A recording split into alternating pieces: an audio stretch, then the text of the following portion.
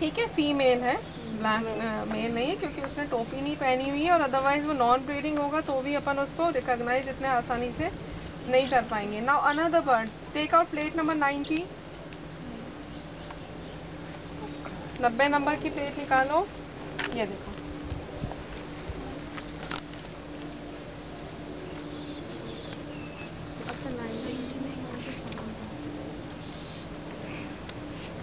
ठीक है, नब्बे नंबर की प्लेट निकाली।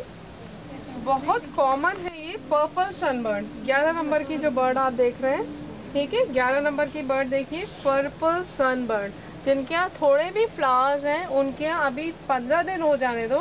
उसके बाद ये ऐसे घूमेंगी जैसे हेलीकॉप्टर पूरे घर में घूम रहा है। और नंबर्स एंड नंबर जैसे मेरे यहाँ सुबह साढ़े छः से लेके वो दस बजे तक कम से कम तीस, पैंतीस पर्पल सनबर्ड घूमती हैं। ठीक है and they are beautiful jewels इनके कलर्स की कल्पना करना बिना देखे नामुमकिन है। बहुत इंपॉर्टेंट इसमें पॉइंट है। आपने 11 नंबर बर्ड देखी? कौन से कौन से कलर्स दिख रहे हैं? हाँ। येलो एक जो अपन लोगों ने देख रहे ग्रेनिश शेड की वो अभी अपन ने देखी थी।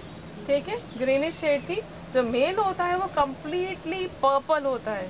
और ऐसे शाइन मारता है जैसे नीलम शाइन मारता है जैसे धूप पड़ती है ना, तब अब की आप देखोगे तो यू कैन रिकॉग्नाइज इट की इतनी छोटी सी चिड़िया चुई चुई चुई करके उड़ रही है और फूलों पे जाके रस पी रही है।